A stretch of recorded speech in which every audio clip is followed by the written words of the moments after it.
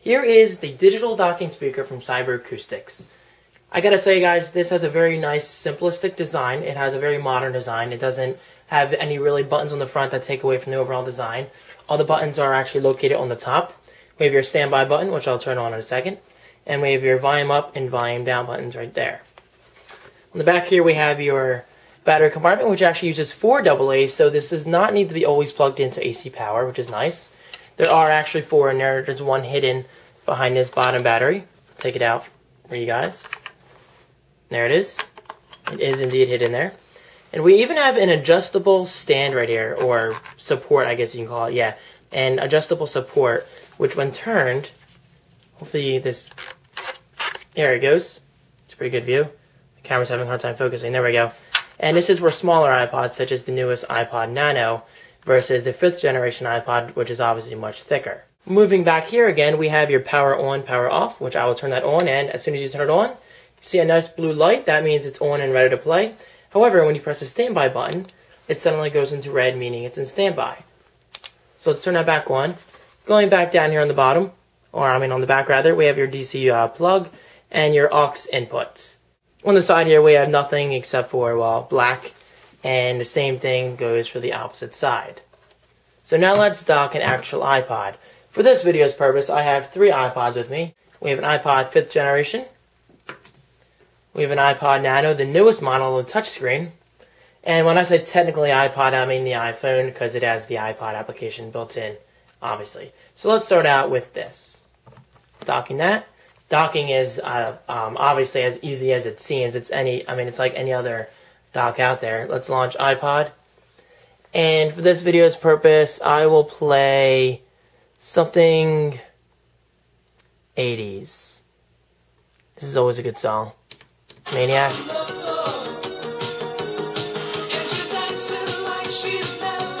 And of course, you can change music just as easily. Change songs, rather.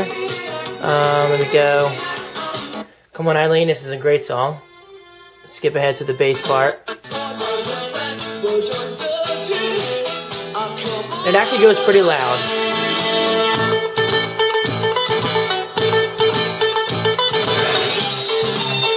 Now, I gotta be honest, guys, I was actually a little impressed by the amount of bass it puts out. It's obviously nothing like my Logitech subwoofer that's under the desk, but you gotta keep in mind for this little, I mean, for this small form factor, I was actually a little more impressed than I expected to be. So let's stop playing my iPhone. Pull it out and it'll stop playing, it's fine. Now let's put in a 5th generation iPod showing that this does indeed work with older models. And it actually just fits right there. You can see that there's a little bit of space. And since the Christmas season is upon us, let's play Christmas music. If it plays. Oh, there it goes. Now, this is an old song. Um, it's obviously Peanuts, uh, you know, Charlie Brown Christmas, one of the best albums out there, in my opinion. Uh, this is an old song, so you're going to hear hiss in the background. And my camcorder thinks my iPod's a face. That's funny. The face tracking software popped up. Let's skip ahead a few songs here. It's a hard drive, so it's obviously not as fast as today's iPods. This is actually a really good song. Let's skip ahead to some lyrics.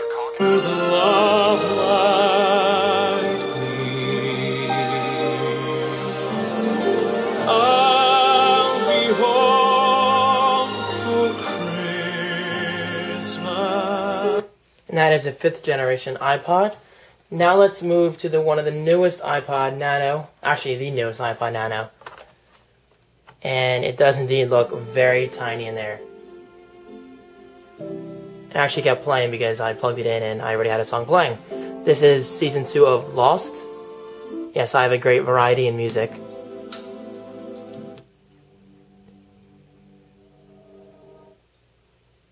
Welcome to Rapture. This is from Bioshock.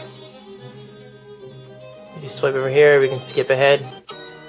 And as you can see, while it's still playing, this blue light is indeed lit blue, which is pretty cool. Um, I don't know if you guys are into lights as much as I am, but I really do like seeing that in my room at night.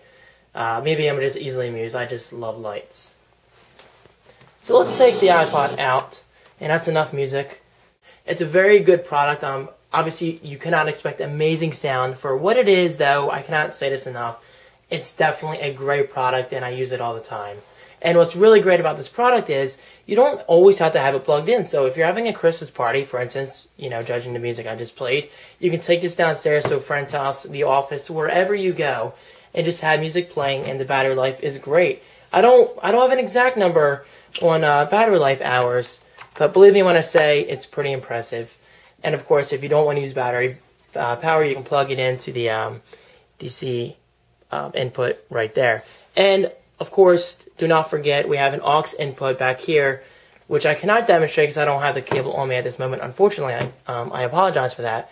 But believe me when I say you can plug your iPod Shuffle and anything else that uses aux input via the 3.5 millimeter uh, standard.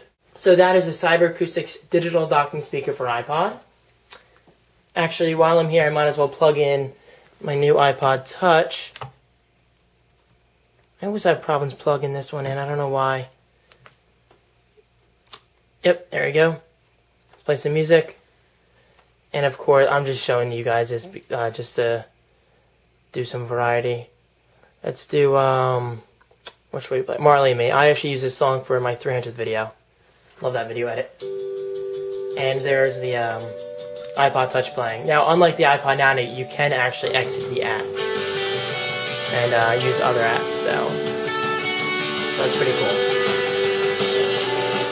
So that is a digital docking speaker from cyberacoustics.com, guys. I will put all the official information in the video description below. I apologize if this review was a little unorganized. There's only so much I can say in terms of sound quality since this video camera obviously does not truly capture the sound quality you would expect in person. But it is a great product overall. So thank you for watching guys. Check out my social links under the video and I will see you guys next time. This video is sponsored by AccessoryStorm.com, a supplier of accessories for iPhone, iPod, etc. Use code TC1 at checkout to save 5% off your order.